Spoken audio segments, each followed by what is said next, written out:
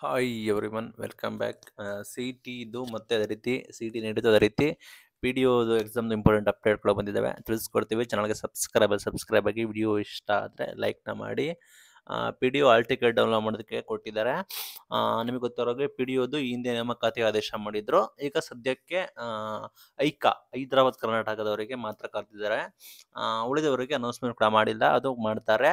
ಕರ್ನಾಟಕ ವೃಂದದ ಕಲ್ಯಾಣ ಕರ್ನಾಟಕದ್ದು ಸಾರಿ ಹೈದರಾಬಾದ್ ಕರ್ನಾಟಕ, ಕಲ್ಯಾಣ ಕರ್ನಾಟಕದ್ದು ninety seven ಹುದ್ದೆಗಳಿಗೆ, ತೊಂಬತ್ತೇಳು ಹುದ್ದೆಗಳಿಗೆ ನವೆಂಬರ್ ಹದಿನಾರು ಮತ್ತು ಹದಿನೇಳರಂದು ಕನ್ನಡ ಭಾಷಾ ಪರೀಕ್ಷೆ ನಡೀತದೆ. ಅದೇ ರೀತಿ ಸ್ಪರ್ಧಾತ್ಮಕ ಪರೀಕ್ಷೆ ಕೂಡ ನಡೀತದೆ.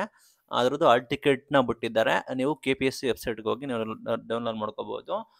ಕೆ ಪಿ ಎಸ್ ಸಿ ವೆಬ್ಸೈಟ್ಗೆ ಹೋಗಿ ನೀವು ಲಾಗಿನ್ ಆಗಿ ನಿಮ್ಮ ಅಪ್ಲಿಕೇಶನ್ ಟ್ಯಾಬ್ಗೆ ಹೋದರೆ ಅಲ್ಲಿ ನಿಮಗೆ ಆಲ್ ಟಿಕೆಟ್ ಅಂತ ಒಂದು ಡಿಫ್ರೆಂಟ್ ಟ್ಯಾಬ್ ಇರುತ್ತೆ ಅದನ್ನು ಕ್ಲಿಕ್ ಮಾಡಿದ ಮಾಡಿದ ನಂತರ ನೀವು ಡೌನ್ಲೋಡ್ ಮಾಡ್ಬೋದು.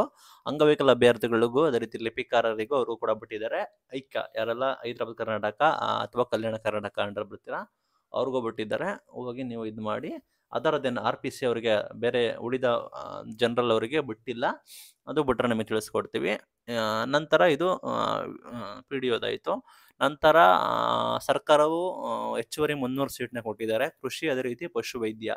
ಹಾಗೆ ಒಂದು ಬಿ ಎಸ್ ಸಿ ಕೃಷಿ ಆಗಿರ್ಬೋದು, ಅದೇ ರೀತಿ ಪಶುವೈದ್ಯಕೀಯ ಕಾಲೇಜುಗಳಿಗೆ ಹೊಸದಾಗಿ ಆರಂಭಿಸಿರುವ ಹಿನ್ನೆಲೆಯಲ್ಲಿ ಮುನ್ನೂರು ಹೆಚ್ಚು ಸೀಟ್ಗಳ ಕೂಡ ಲಭ್ಯವಿದ್ದಾವೆ ಎಲ್ಲರೂ ಕೂಡ ಮಾಡಿದ್ದೀರ ಅನ್ಕೋತೀನಿ. ಇದುವರೆಗೂ ಯಾರು ಸೀಟ್ ಹಂಚಿಕೆ ಆಗಿಲ್ಲ, ಅವರು ಕೂಡ ಆಪ್ಷನ್ ಎಂಟ್ರಿ ಮಾಡೋದಕ್ಕೆ ಟೈಮ್ನ ಕೊಟ್ಟಿದ್ರು. ನಂಬರ್ ಫೋರ್ಟೀನ್ತ್ ಒಳಗೆ ನೀವು ಫೀಸ್ನ ಪೇಮೆಂಟ್ ಮಾಡಿ ಕಾಲೇಜಿಗೆ ಅಡ್ಮಿಷನ್ ಆಗಬೇಕು ಅಂತ ಹೇಳಿ ಕೆ ಇ ಅವರು ಅನೌನ್ಸ್ಮೆಂಟ್ ಕೂಡ ಮಾಡಿದ್ರು. ಸೀಟ್ ಮ್ಯಾಟ್ರಿಕ್ಸ್ ಕೂಡ ಪ್ರಕಟ ಆಲ್ರೆಡಿ ಮಾಡಿದ್ದಾರೆ.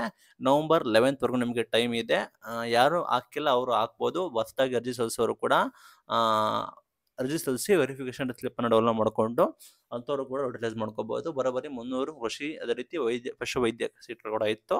ಯಾರು ಸೀಟ್ ಸಿಕ್ಕಿಲ್ಲ ಅಂಥವ್ರು ಯೂಸ್ ಮಾಡ್ಕೋಬೋದು. ಹೆಚ್ಚಿನ ಮಾಹಿತಿಗಾಗಿ ಕೆ ವೆಬ್ಸೈಟ್ನ ನೋಡಿ. ಅದೇ ರೀತಿ ಬ್ಲ್ಯಾಕಿಗೆ ಸೀಟ್ ಬ್ಲಾಕ್ ನಿಮ್ಗೆ ಆಲ್ರೆಡಿ ಸೀಟ್ ಬ್ಲಾಕ್ ಮಾಹಿತಿ ತಿಳಿಸ್ಕೊಟ್ಟೆ ಎರಡ್ ಸಾವಿರದ ಮುನ್ನೂರ ನಲವತ್ತೆಂಟು ವಿದ್ಯಾರ್ಥಿಗಳು ಇದ್ದಾರಂತೆ ಕ್ರಿಮಿನಲ್ ಕೇಸ್ಗೆ ದಾಖಲಿಸಿ ತನಿಖೆ ಮಾಡ್ತೀವಿ ಅಂತ ಹೇಳಿದ್ದಾರೆ.